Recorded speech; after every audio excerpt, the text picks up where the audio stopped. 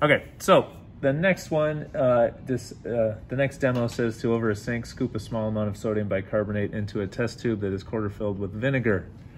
So here is our sodium bicarbonate. You can see it here. I'm gonna scoop it to help you make a better observation.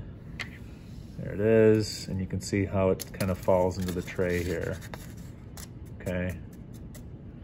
All right, so make your observations before on the sodium bicarbonate. Here is the vinegar. Okay, observations on that should be pretty straightforward.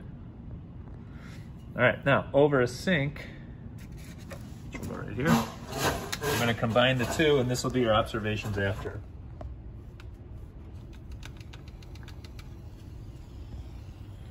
Sink not totally required. Or is it?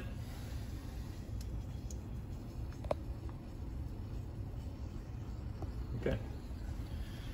So notice what's occurring. You want to write this down in your observations after and then identify the type of change.